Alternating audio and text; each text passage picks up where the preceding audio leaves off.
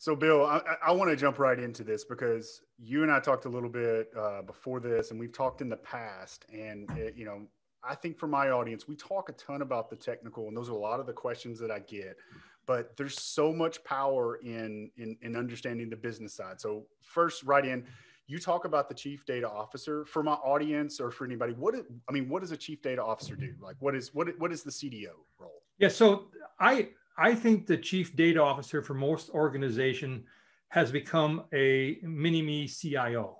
And what I mean by that is I think the role of the chief data officer in most organizations is not very fun or creative or provocative.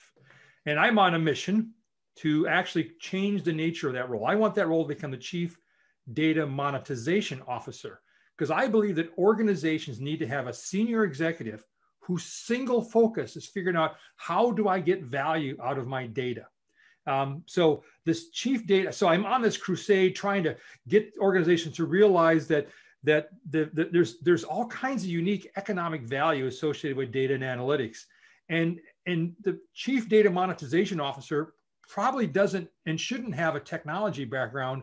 I'm going to argue their background should be economics, because you think about what economics is about economics is about the creation of wealth and value and how you use assets to create value. Well, that's what that's what data is all about. And you use analytics to convert raw data into valuable, actionable customer product and operational insights that you can use to derive and drive new sources of value. So, so Thomas, my mission has been the chief data officer. You look like a CIO kind of person don't want that person. I want a chief data monetization officer who lives and breathes, who wakes up every morning and says, my job is to figure out how to get value out of that data and is chartered with, with integrating across the entire organization, not just within IT, but with sales and marketing and operations and engineering and everybody else to figure out where and how can we use data to drive new sources of value.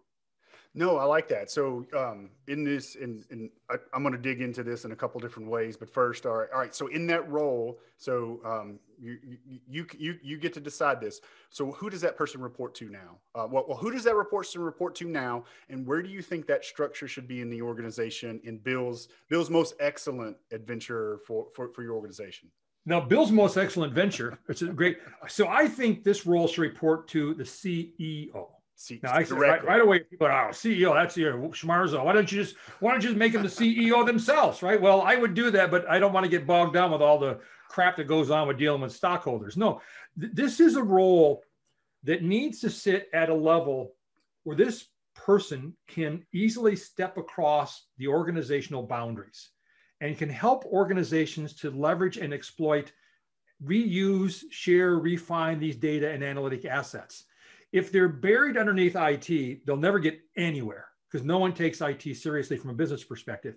If you stick them in finance or marketing or someplace, then you've automatically put them into a box. And this is the problem in most organizations.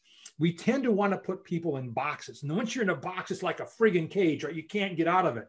This person needs to have the authority to be able to walk across and show sales, marketing, finance, product management, engineering, how this one data source, for example, can power some of their key use cases and can drive that collaboration across the different business units so that they all can share and reuse the same data, data sets over and over again. So in Schmarzo's most excellent adventure, this person reports high in the organization and is chartered with driving the overall across the organization use and monetization of these very valuable and economic or economically unique data and analytic assets.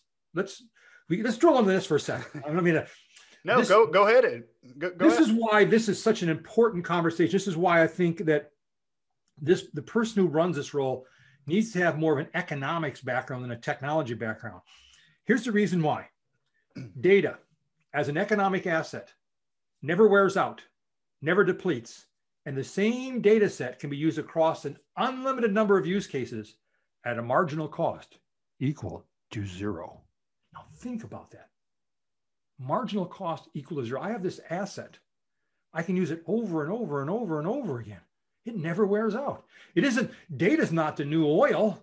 You know, data is like the new sun, it never goes away. It's always providing energy for us. And so, first off, from a data perspective, the thing that destroys and hinders the economic value of data are data silos.